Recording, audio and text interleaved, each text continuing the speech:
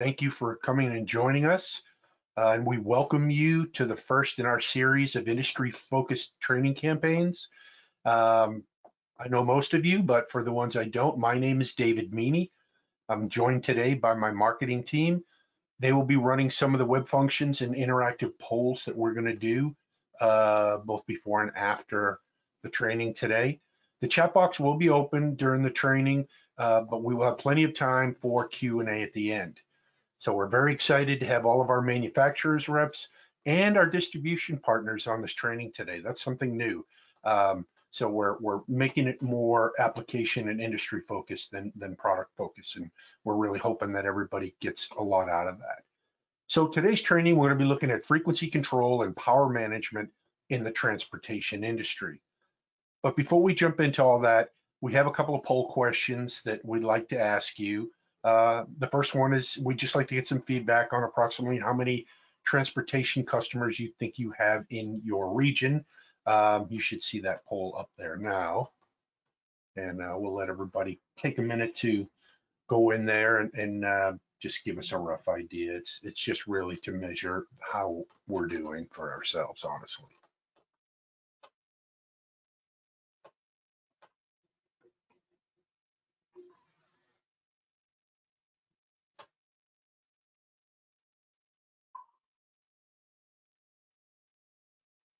Awesome. So it looks like we've got a good amount of in.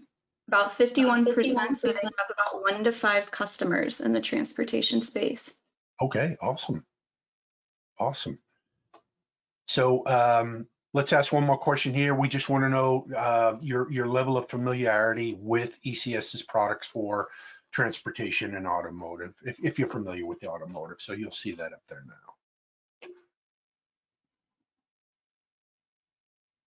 So we'll keep the poll up for about 45 seconds so everybody gets a chance to answer. And again, this is really just trying to get a measurement for um, how well um, you have an understanding and if there's areas in your market that you can now see after after going through this that maybe you could attack with some of these products.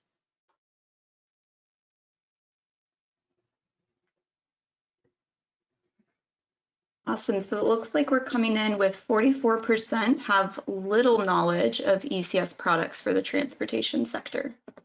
Okay. Well, let's uh, let's aim to improve on that for sure.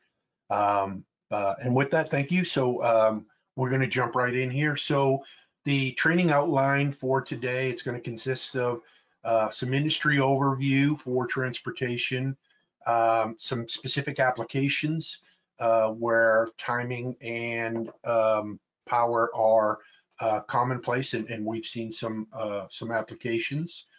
What the role of timing is in those applications. Um, short, just description. Uh, we get a lot of questions about how these products are manufactured and what those standards are. So we'll look at IATF and the AEC. Um, again, just surface. Um, we'll show a couple of popular popular series um, that we're seeing out there in the marketplace that have gained some traction within the market space there. Um, we've also put together some discovery questions for you that you can uh, take with you uh, and sit with your customer. And that way, if you, we ask the right questions, we get the right answers. Um, and last but not least, we we do have a, a lot of resources um, for the automotive and transportation industry, both on our web, and there'll be some handouts um, that you'll receive after the training today.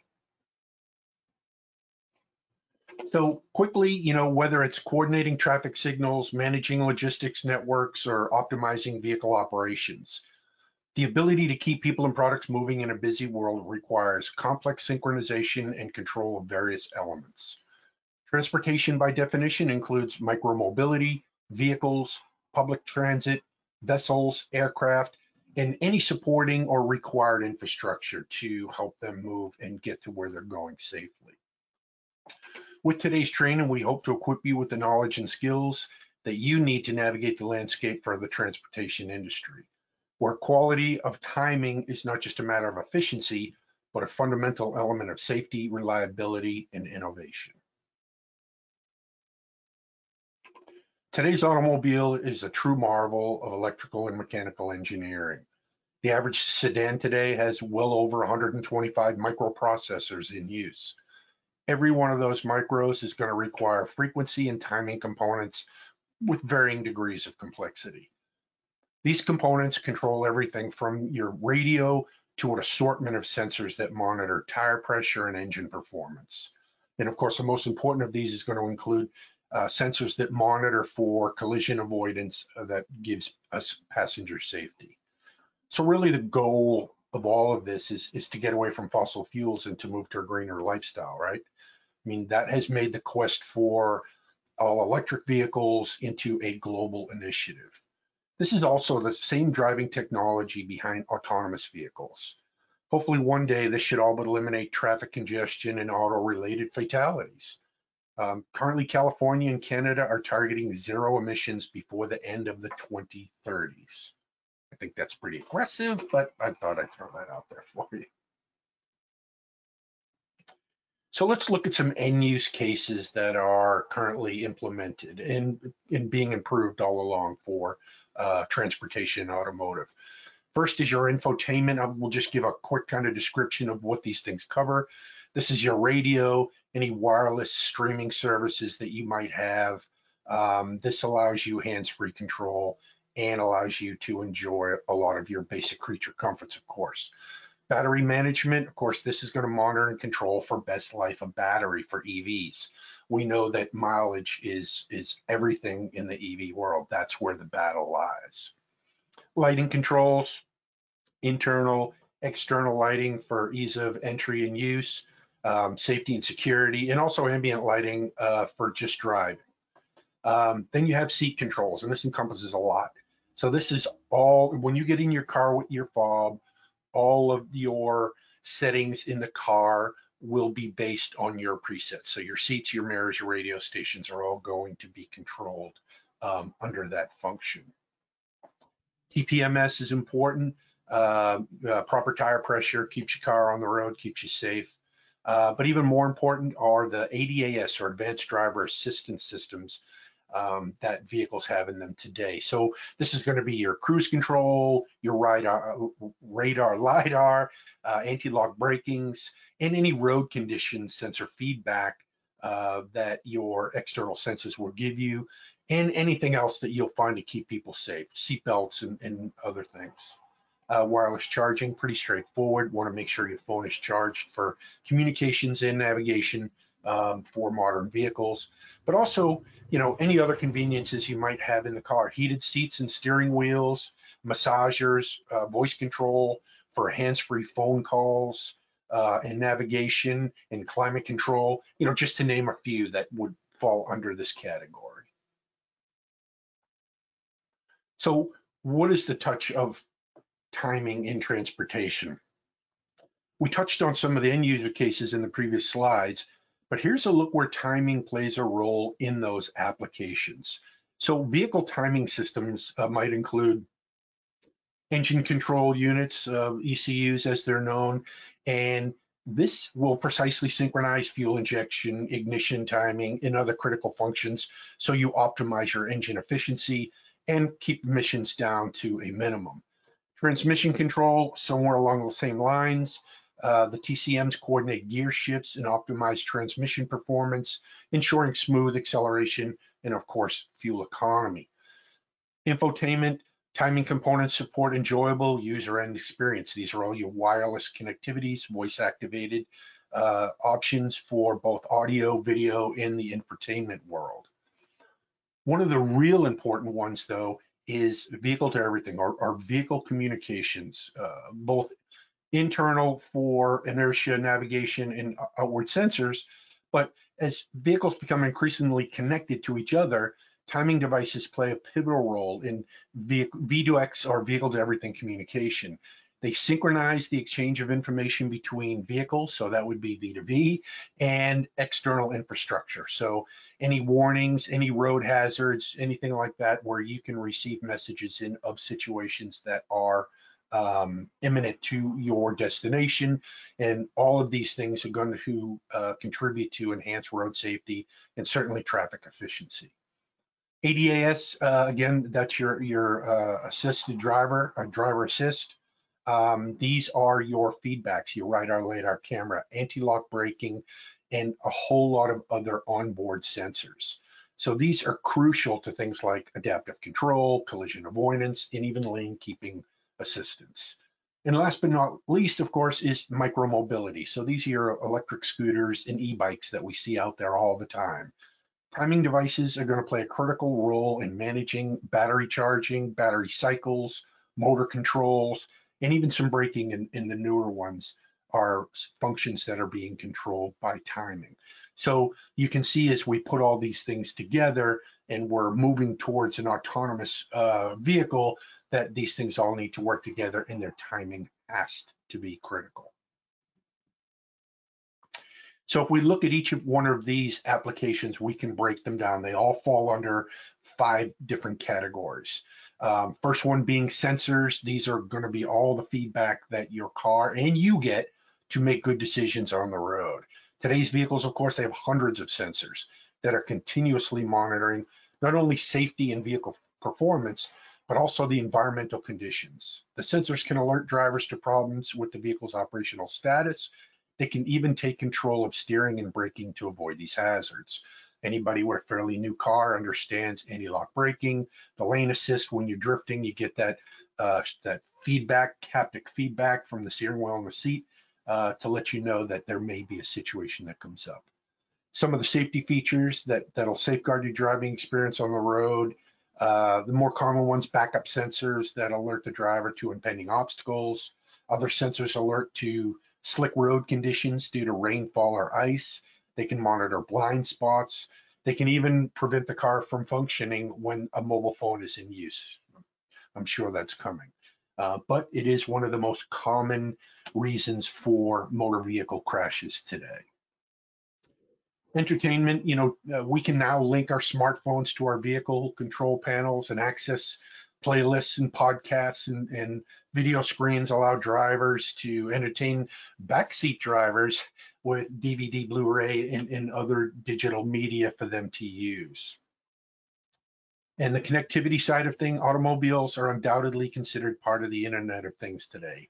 You can unlock your cars remotely, contact emergency services, navigate routes via GPS, remote start, and that list continues to grow and grow and grow.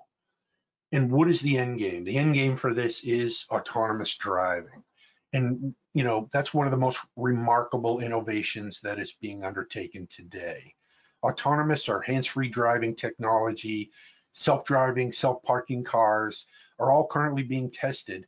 They do have some limited deployment, but they're going to soon be parked in all of our driveways. The evolution of electric vehicles and autonomous vehicles is going to grow at breakneck pace. So the products that we offer into this market, automotive and transportation, are very specific in their application and the people that want them are requiring very specific tests to ensure performance is met. The first one is IATF 16949. Essentially, this is the ISO that our manufacturing plants have put in place to make sure that we meet all the manufacturing guidelines for automotive grade products. So um, typical ISO, it's continuous improvement, defect prevention, um, risk management, and contingency planning for moving them to other areas, and all of those manufacturing things that make these products more, more both more readily available, but make sure they get more hands-on touching and more monitoring during that process. The other side of this is the qualification process for these. So we build them in our AITF factories, but they are tested to meet the AEC-Q200 standard.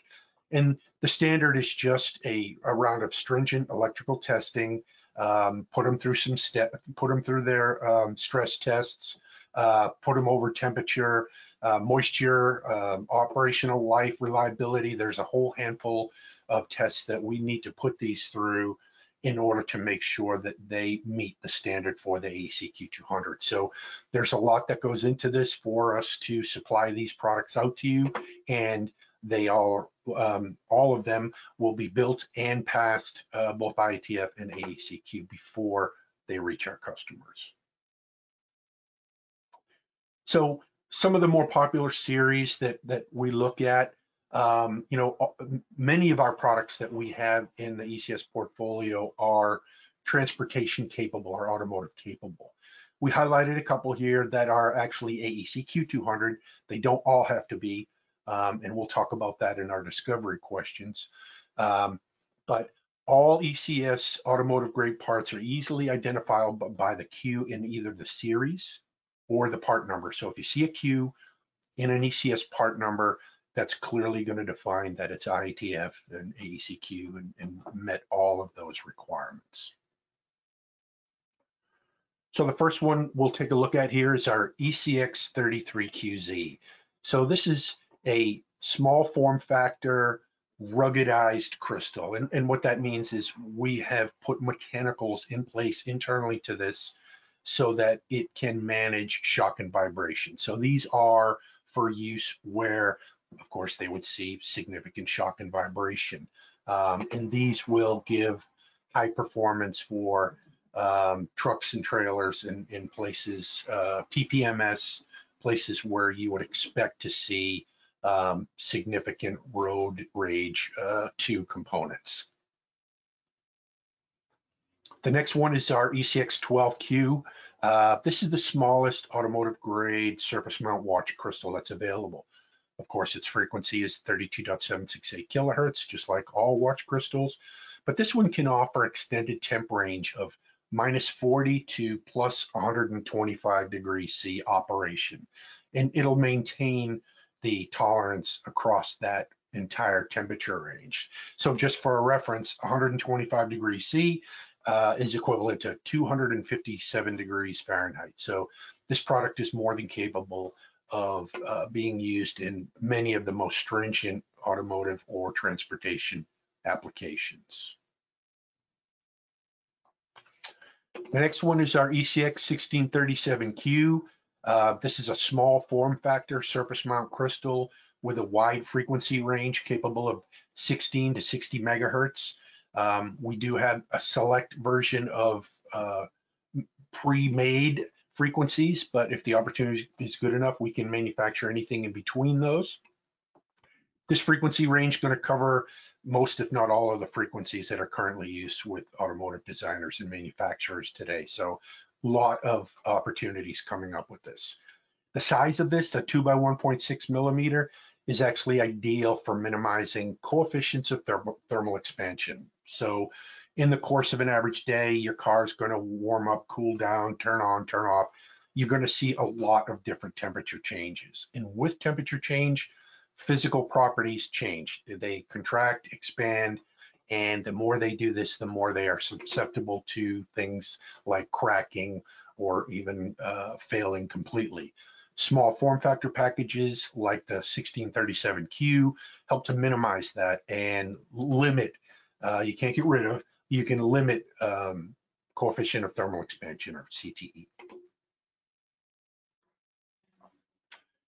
Um, and here we have uh, some other parts. So uh, some oscillators and shielded power inductors that we're seeing lots of activity from the transportation industry.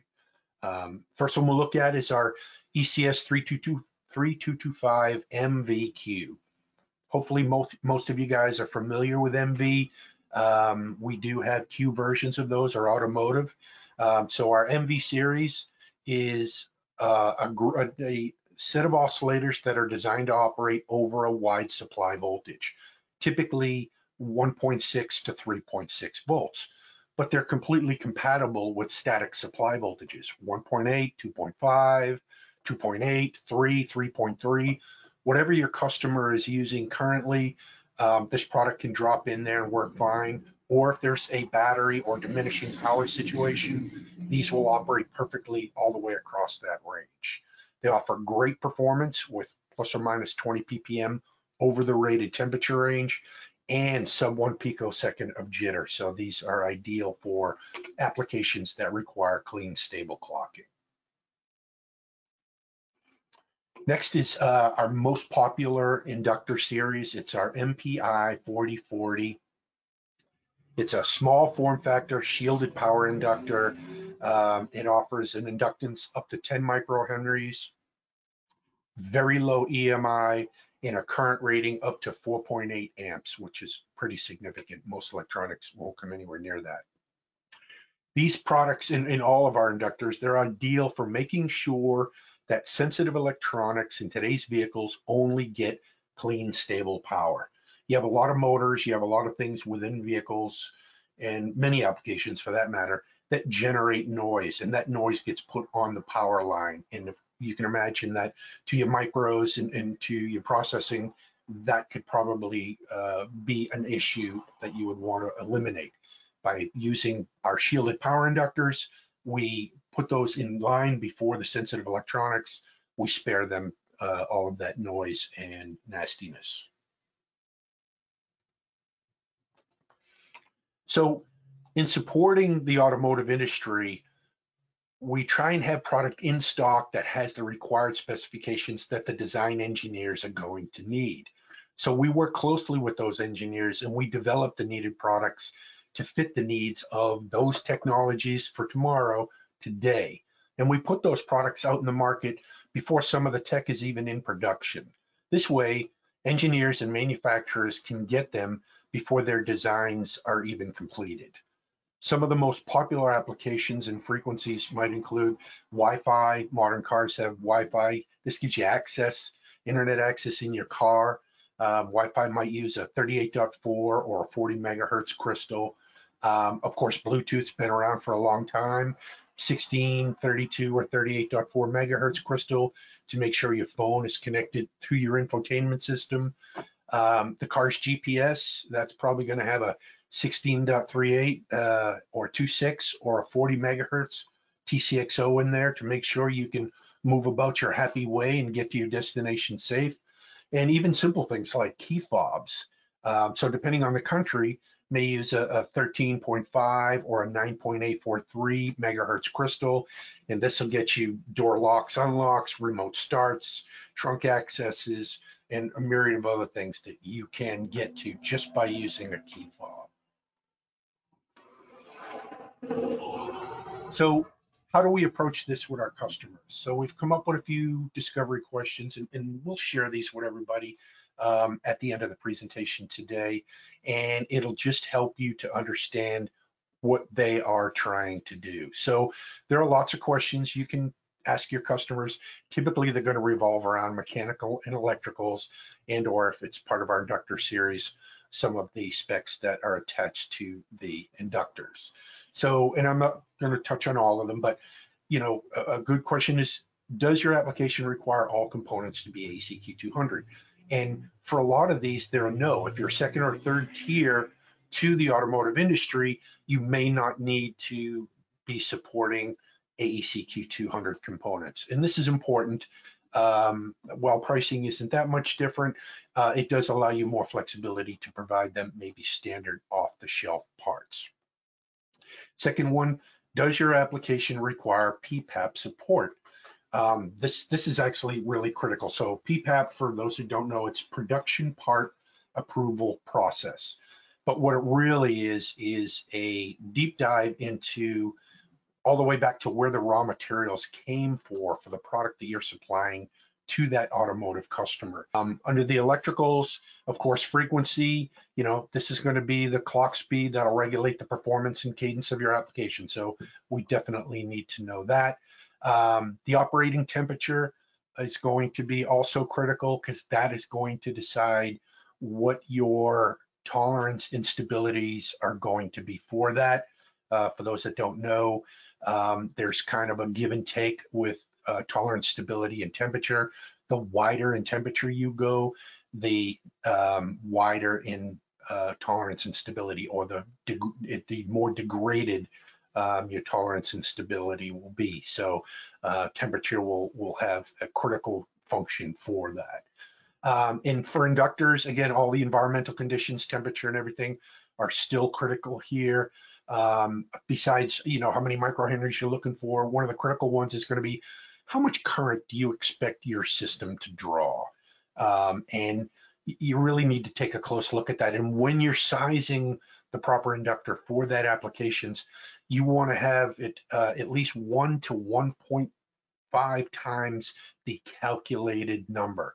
That way you give your inductor plenty of headroom to operate sufficiently and make sure that it's able to provide clean, stable power to all of those um, sensitive electronics that are downstream from it. So um, we won't go through all of these. We'll, we'll share these with everybody. It gives you a, a, way to sit with your customer and make sure that they're getting exactly what they need. Besides the besides those, um, we have a lot of resources available for you on our website. Um, you can go to our automotive industry page. You can find uh, more information about uh, specific products and applications. You'll find article section with insights and, and, relevant posts. And we will continue to post more content in there as we move through this quarter. So this is transportation quarter for ECS, and we're going to continue to put information up on our website um, to give you access to that so that you can know what's coming and maybe have more insight for some of those customers. Also, we've uh, put together some really good resources that you can download and use with your customers. Um, after the training today, you're going to receive a packet that includes um, application overview. You know, this discusses end uses cases for automotives, uh, an AEC Q200 product highlight guide, and this is going to feature our, our most popular automotive grade products and a link to our interactive automotive catalog. And the catalog is great because the interactivity allows you to click on the families and it'll take you to there. You can read about them, download data sheets, you can check for um, inventories. So it's, it's a great way to really show your customer that you, ha you have them covered in the automotive space.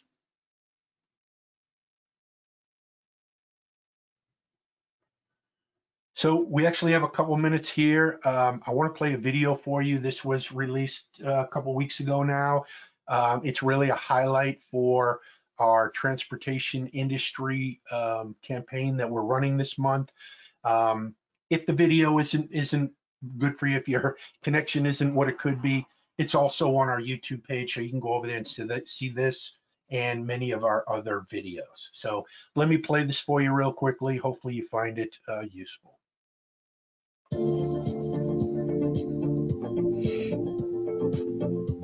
Consumer vehicles to public transit and micromobility, the transportation industry continues to push the bounds of innovation with cutting edge designs that revolutionize the world of mobility. Hello, I'm David Meany, Vice President of Global Technical Sales and Marketing at ECS Inc. International. Over the last decade, the evolution of transportation has taken innovation to new heights.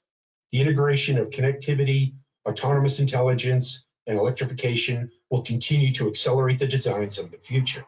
ECS Inc.'s dedicated technical team collaborate with design engineers to find solutions across a broad spectrum of applications, spanning from advanced driver assistance systems to wired and wireless charging accessories and everything in between. ECS Inc.'s diverse portfolio of automotive-grade frequency control and power solutions include crystals, standard oscillators, voltage-flexible multi-volt oscillators, and shielded power inductors. Our automotive-grade products are IATF 16949 certified, AEC Q200 qualified, and PPAP supportable, ensuring reliable performance even in the harshest environmental conditions. Product options include enhanced efficiency, ruggedized shock resistance, and compact sizing. For your transportation application, ECS Inc.'s team of engineering experts are here to help you find your electronic component solution. Visit our website for more engineering tools and resources.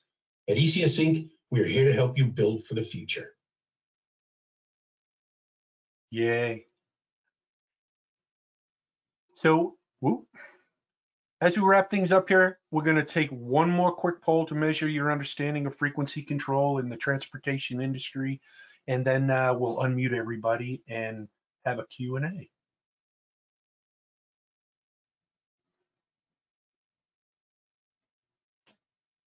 All right, so Dave, we do have a couple of questions that have come in. Um, one question is, are all of these registerable products? Absolutely. Um, so ECS has 100% registrable products um, that um, that you can use, and they are all open for um, either through distribution or whatever the channel is for design registration. Absolutely.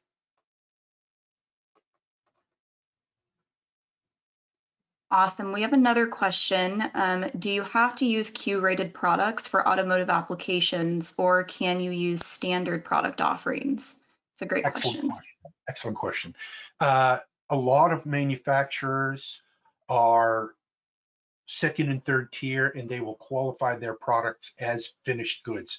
For instance, uh, Delphi doesn't use uh, or require AEC Q200 product. They register and qualify their radios as AEC Q200 certified. So no, not all uh, automotive customers will require AECQ.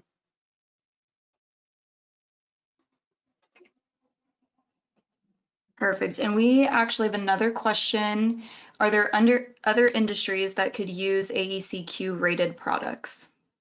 Yes, uh, excellent, great questions. Um, actually, the majority of our business comes from non-direct automotive customers. So we get a lot of inquiries from municipalities that are doing gas and water metering. Um, they want to make sure that their products have this stringent testing.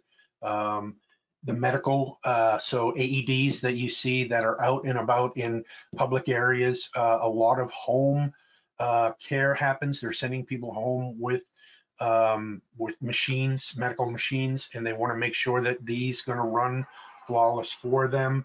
Uh, and even in the industrial automation space, uh, we've seen a lot of applications there where either they need the extended temp range or they just want the, the high reliability that you get from Q-based products.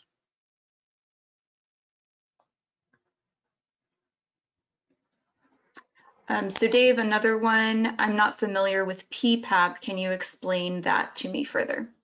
So in, in short, and we talked a little bit about earlier, the automotive industry puts in place uh, a stringent way to make sure that they can trace products back. So if there are failures, um, they can literally go back to the raw materials.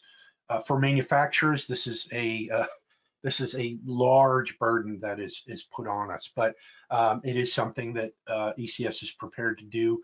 We do need to know this up front again, exactly.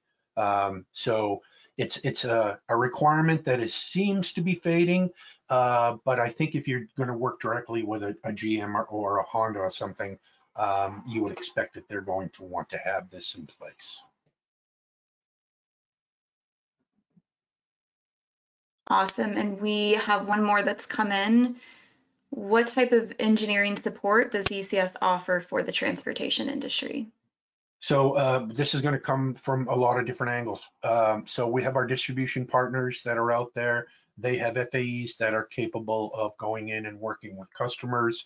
Um, we have our manufacturers reps uh, who have uh, deep technical knowledge of, of, what our products are. We have our RSMs uh, who are very knowledgeable. They, they are available to travel in to see customers. But even from a direct engineering uh, position, uh, ECS is set up to be a support mechanism. So we have in-house engineering that can, of course, make recommendations for products. Uh, we can review schematics uh, for board layouts. We can even take in boards and power them up into a full review of the timing functions on the board and give you back um, a report for that data. We do ask that we vet this out. We can't do this for, for just anybody, but um, and also myself, uh, I'm available to travel. Uh, often come into the territories uh, with the guys, and, and, we can go visit customers, and uh, we can sit down in, in their office and have a direct direct discussion uh, about what products they could use or should use.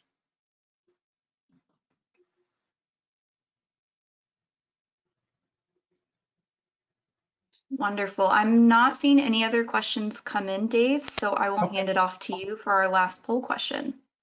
Awesome, awesome. Um, you can go ahead and put the poll question up.